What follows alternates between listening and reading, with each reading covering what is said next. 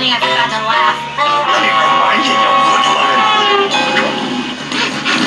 Hey, Kev, ever thought of taking kung fu lessons? Real cheap. Get away from me.